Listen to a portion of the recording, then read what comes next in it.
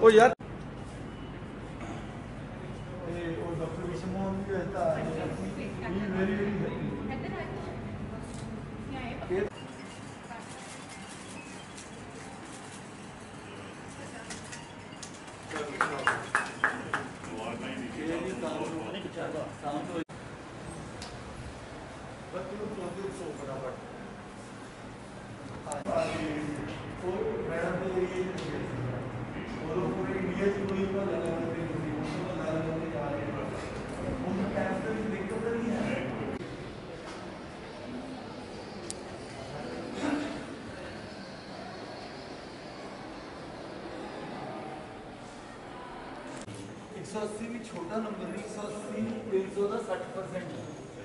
Civil hospital ਦਾ ਜਿਵੇਂ unsung hero ਹੁੰਦੇ ਨੇ ਨਾ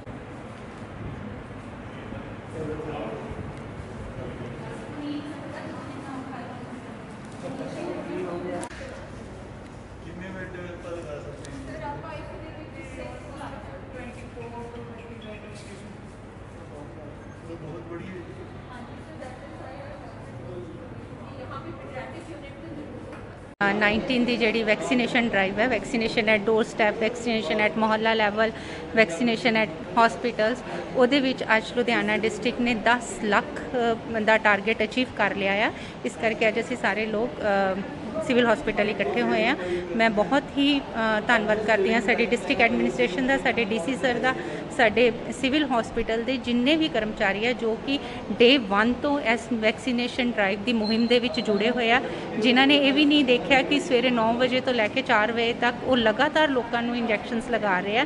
ਉਹਨਾਂ ਦੀ ਮਿਹਨਤ ਨੂੰ, ਅੰਥਕ ਮਿਹਨਤ ਨੂੰ ਸਲਾਮ ਕਰਦੇ ਆ ਕਿ ਜਿਹੜੀ ਸੈਕਿੰਡ ਵੇਵ ਜਦੋਂ ਆਈ ਤੇ ਵੈਕਸੀਨੇਸ਼ਨ ਇਸ ਲੈਵਲ ਤੇ ਇਹ ਲੋਕ ਲੈ ਕੇ ਜਾ ਚੁੱਕੇ ਸੀਗੇ। ਲੁਧਿਆਣਾ ਬੜੇ ਆਰਾਮ ਨਾਲ ਉਸ ਵੇਵ ਚੋਂ ਨਿਕਲ ਗਿਆ।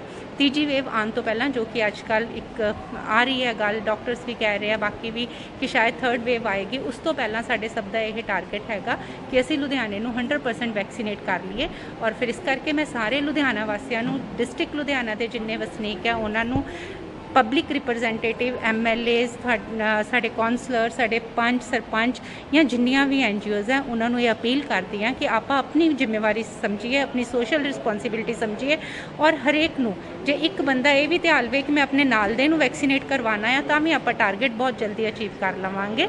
ਤਾਂ ਸਾਰਿਆਂ ਨੂੰ ਅਪੀਲ ਹੈ ਕਿ ਜੋ ਰਹਿ ਗਿਆ ਹੈਗਾ, ਆਪਣੇ ਆਪ ਨੂੰ ਆ ਕੇ ਵੈਕਸੀਨੇਟ ਜ਼ਰੂਰ ਕਰਾਵੇ। ਧੰਨਵਾਦ। ਕਿੰਨੀ ਤਰੀਕ ਕਿੰਨੀ ਹੈ ਅੱਜ 19 ਹੋ ਗਈ। ਅੱਜ 19 ਜੂਨ 2021 ਨੂੰ ਬੜਾ ਇੱਕ ਚੰਗਾ ਦਿਨ ਚੜਿਆ ਹੈਗਾ। ਮੈਂ ਸਾਰੇ ਲੁਧਿਆਣੇ ਦੇ ਨਿਵਾਸੀਆਂ ਨੂੰ ਔਰ ਹੈਲਥ ਕੇਅਰ ਵਰਕਰਸ ਨੂੰ ਇਸ ਗੱਲ ਦੀ ਵਧਾਈ ਦਿੰਦਾ ਕਿ ਅੱਜ ਅਸੀਂ 10 ਲੱਖ ਕੋਵਿਡ ਦੇ ਟੀਕੇ ਲਾਉਣ ਦਾ ਜਿਹੜਾ ਟੀਚਾ ਪੂਰਾ ਕਰ ਲਿਆ। ਜਿਹਨੂੰ ਅੰਗਰੇਜ਼ੀ 'ਚ ਆਪਾਂ 1 ਮਿਲੀਅਨ ਕਹਿੰਦੇ ਆ। ਇਹ ਇੱਕ ਬਹੁਤ ਵੱਡਾ ਇੱਕ ਉਤਸਵ ਵਾਲੀ ਗੱਲ ਹੈ। ਇੱਕ ਉਤਸ਼ਾਹ ਵਾਲੀ ਗੱਲ ਹੈ, ਇੱਕ ਤਿਹਾਰ ਵਾਲੀ ਗੱਲ ਹੈ ਵੀ ਕੋਈ ਸ਼ਹਿਰ ਜਾਂ ਕੋਈ ਜ਼ਿਲ੍ਹਾ ਆਪਣੇ ਆਪ ਨੂੰ ਐਡਾ ਸੂਝਵਾਨ ਸਿੱਧ ਕਰੇ ਕਿ 10 ਲੱਖ ਲੋਕਾਂ ਨੇ ਜਿਹੜਾ ਹੈਗਾ ਟੀਕੇ ਲਵਾਏ ਨੇ। ਮੈਂ ਇਹਦੇ ਲਈ ਜਿਹੜੇ ਇੱਥੋਂ ਦੇ ਵਸਨੀਕ ਨੇ, ਜਿਹੜੇ ਇੱਥੋਂ ਦੇ ਪੋਲੀਟੀਕਲ ਲੀਡਰਸ ਨੇ, ਚਾਹੇ ਕਿ ਉਹ ਸਰਪੰਚੀਜ਼ ਹੋਣ, ਚਾਹੇ ਐਮਸੀ ਸਾਹਿਬਾਨ ਹੋਣ ਐਮਐਲਏਜ਼ ਐਮਪੀ ਜਿਨ੍ਹਾਂ ਸਾਰਿਆਂ ਨੇ ਲੋਕਾਂ ਨੂੰ ਪ੍ਰੇਰਿਆ, ਉਹਨਾਂ ਸਾਰਿਆਂ ਨੂੰ ਵੀ ਜਿੱਥੇ ਵਧਾਈ ਦਿੰਦਾ, ਪਰ ਸਭ ਤੋਂ ਵੱਡਾ ਜਿਹੜਾ ਹੱਥ ਹੈ ਉਹ ਸਾਡੀਆਂ ਨਰਸਿਸ ਡਾਕਟਰਸ ਪੈਰਾਮੈਡਿਕਸ, ਜਿਨ੍ਹਾਂ ਨੇ ਕਿ ਗਲੀ ਗਲੀ ਜਾ ਕੇ ਕੋਈ ਗਰਮੀ, ਸਰਦੀ ਦੀ ਪਰਵਾਹ ਨਹੀਂ ਕੀਤੀ। 16 ਜਨਵਰੀ ਜਦੋਂ ਕੱਕਰ ਦਾ ਸਰਦੀ ਪੈ ਰਹੀ ਸੀ, ਉਸ ਸਮੇਂ ਤੋਂ ਸ਼ੁਰੂ ਹੋ ਕੇ ਆ ਹੁਣ ਜਿਹੜਾ ਜੇਠਹਾੜ ਦੇ ਦਿਨ ਚੱਲ ਰਿਹਾ ਹੈ, ਅੱਜ ਜੂਨ ਦਾ ਮਹੀਨਾ ਇੰਨੀ ਗਰਮੀ ਹੈ, ਇਹਨਾਂ ਨੇ ਕਿਸੇ ਚੀਜ਼ ਦੀ ਪਰਵਾਹ ਨਾ ਮੰਨਦੇ ਹੋਏ ਲੰਬੇ ਸਫ਼ਰ ਨੂੰ ਤੈਅ ਕੀਤਾ ਇਹਦੇ ਲਈ ਸਿਹਤ ਵਿਭਾਗ ਜਿਹੜਾ ਹੈਗਾ ਵੱਡੀ ਸ਼ਾਬਾਸ਼ ਦਾ ਹੱਕਦਾਰ ਹੈ। ਔਰ ਹੁਣ ਮੇਰੀ ਲੋਕਾਂ ਨੂੰ ਇੱਕ ਬੇਨਤੀ ਹੈ ਕਿ ਅੱਜ ਵੀ ਸਾਡੇ ਕੋਲੇ ਅੱਜ ਦੀ ਤਰੀਕ 'ਚ ਵੀ ਸਾਡੇ ਕੋਲ 55000 ਟੀਕੇ ਆਏ ਹੋਏ ਨੇ। ਸਰਕਾਰ ਵੱਲੋਂ ਟੀਕਿਆਂ ਦੀ ਹੁਣ ਕੋਈ ਕਮੀ ਨਹੀਂ। ਕੋਈ ਉਮਰ ਦਾ ਕੋਈ ਲਿਹਾਜ਼ ਨਹੀਂ। 18 ਤੋਂ ਉੱਪਰ ਜਿਹੜਾ ਮਰਜ਼ੀ ਬੰਦਾ ਆ ਕੇ ਟੀਕਾ ਲਵਾ ਸਕਦਾ। ਇੱਕ ਨਵਾਂ ਪੈਸਾ ਕੋਈ ਨਹੀਂ ਲੱਗਣਾ। ਹੁਣ ਤੁਹਾਡੀ ਹਿੰਮਤ ਹੈ। ਤੁਹਾਡੇ ਮੁਹੱਲੇ 'ਚ, ਕਿਸੇ ਕੋਈ ਡੇਰੇ 'ਚ, ਸੰਸਥਾ 'ਚ, ਜਿੱਥੇ ਵੀ ਕਿਤੇ ਟੀਕੇ ਲੱਗਦੇ ਨੇ। ਇੱਕ ਕਈ ਲੋਕਾਂ ਨੇ ਜਿਹੜੇ ਦੇਸ਼ ਦੇ ਦੁਖੀ ਹੁੰਦੇ ਨੇ, ਇਸ ਤਰ੍ਹਾਂ ਦਾ ਮਾਹੌਲ ਬਣਾਤਾ ਵੀ ਫਲਾਣੀ ਕੰਪਨੀ ਦਾ ਵਧੀਆ, ਫਲਾਣੀ ਦਾ ਵਧੀਆ। ਠੀਕ ਹੈ ਜਿਹੜਾ ਮਿਲ ਜੇ ਉਹੀ ਚੰਗਾ ਹੈਗਾ ਇਹਨਾਂ 'ਚ ਕੋਈ ਫ਼ਰਕ ਨਹੀਂ ਹੈਗਾ ਜਿਵੇਂ ਆਪਾਂ ਟੀਵੀ ਦੇਖਦੇ ਆਂ ਉਹ ਜਿਹੜੀ ਮਰਜ਼ੀ ਕੰਪਨੀ ਦਾ ਹੋਵੇ ਪ੍ਰੋਗਰਾਮ ਤਾਂ ਉਹੀ ਦਿਖਣਾ ਜੋ ਪਿੱਛੇ ਹੈ। ਸੋ ਇਹਦੇ ਅੰਦਰ ਪ੍ਰੋਗਰਾਮ ਇਹ ਪਾਇਆ ਵੀ ਬੰਦੇ ਨੂੰ ਕੋਵਿਡ ਤੋਂ ਬਚਾਉਣਾ।